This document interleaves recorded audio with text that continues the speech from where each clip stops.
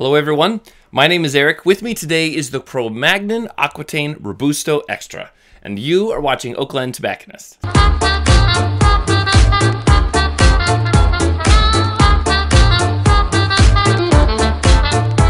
Hello everyone, welcome to Oak Glen Tobacconist, where we make the hard to find within reach. If you're interested in this Romacraft cigar or many other Romacraft sticks, check us out at oakglentobacconist.com. So today's review is a cigar that I have tried many, many times. However, I've never done a formal review or really in-depth review of. I've tried it before. I do know there are certain aspects I love about the cigar, but it's time to really have the rubber hitting the road. The cigar that is accompanying me is the Romacraft Cro-Magnon Aquitaine. This Robusto Robusto Extra is a 5x56 Nicaraguan stick using an Ecuadorian Habano wrapper. Basically in between a mid light brown, like creamed coffee color, and then a really dark Maduro color.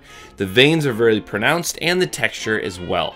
So we are gonna go ahead and light this up and see where it brings us for this Robusto Extra. First a dry draw. Very much salty. Salty, musty earth that's uh, kind of on the top. Hardly any sweetness at all. Let's go ahead and get it toasted and see where we begin.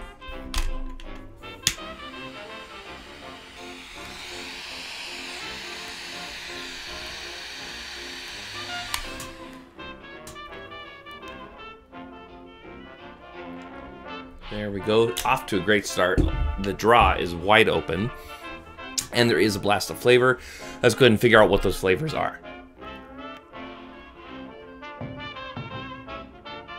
As you can see as well, the smoke output is fantastic. What I'm really getting right now is there is a bit of coffee bean.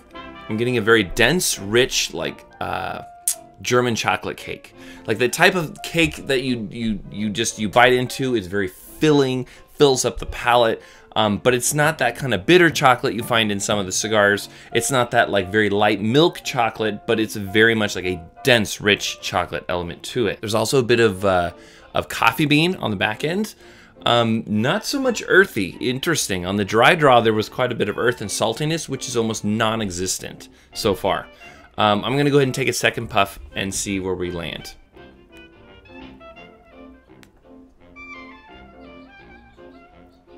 So there's also a little bit of saltiness, I would say, if I really try to find it. Maybe a little bit on the lips. The Retrohale has a little bit of spice to it. Um, definitely like black pepper spice, but not overwhelmingly so. Um, but it's just a very full cigar. When I think of the term full body, this cigar has to be in that mix. It fills up the palate completely. It has a full, rich element to it um, and covering a lot of different things, but most prominently, like a German chocolate cake filling, an espresso or coffee bean on the back end.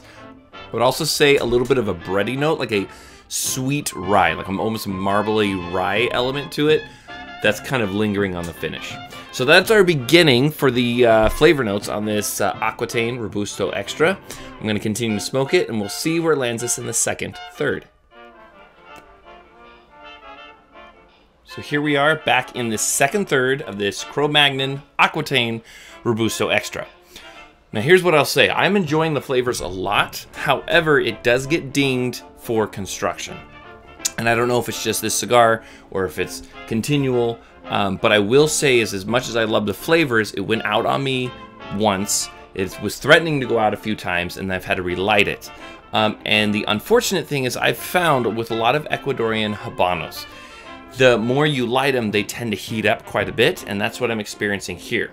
With that stated, when they do become hot, and then when you're becoming into that like second, third, there is an element, I find this a lot in this type of tobacco, where there's like a sweet savory element almost like a like a smoked meat or a smoked barbecue that's on the sweeter side.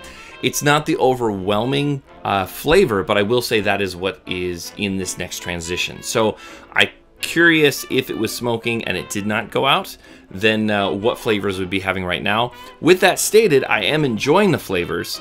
And oftentimes a construction thing like going out, I mean, you set a cigar down, you keep on moving. That's not always the biggest like deal breaker for me, but it is one of the first cigars that's gone out on me having to uh, do a review.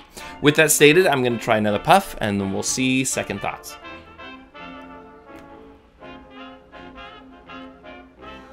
So I would say that the retro has remained the same in the sense that there's a little bit of pepper on there. It's not overwhelming, it's enough to satisfy. Um, but predominantly there's this savory element, there's this sweet element, a little bit of that espresso that's kind of died off. Um, and I'm curious to see if that will come back through the next transition. However, we've gone from this like chocolatey and espresso element to more of a savory, like meaty element. I would say if there's some consistency to it, it's definitely on the fuller bodied side. Strength level remains about medium plus, um, but this small Robusto packs quite a wallop as far as uh, body and strength. So I'm gonna continue to smoke this and we'll meet back on the final third.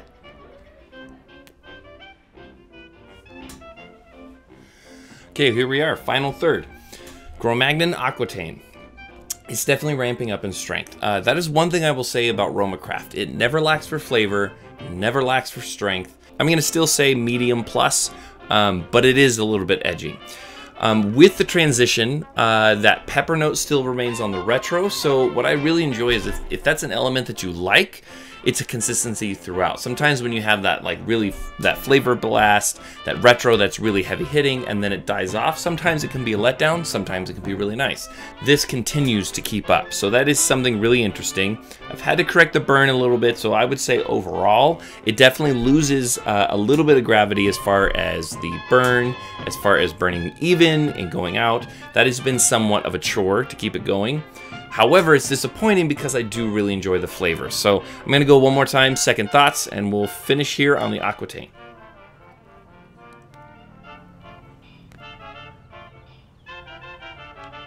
So some of that savoriness remains, but some of that sweetness is coming back. So I partly wonder if maybe the heat from lighting it up leaned heavily into the savory element, um, but now some of that sweetness is returning. Um, and it's made quite a bit of transitions. I would say for those elements of savoriness and chocolatey really brings it together, and some of that espresso is coming back on the finish. Once again, that is the Cro-Magnon Aquitaine. Thank you so much for smoking with me here on the channel. And as always, we will see you next time on Oak Glen Tobacconist.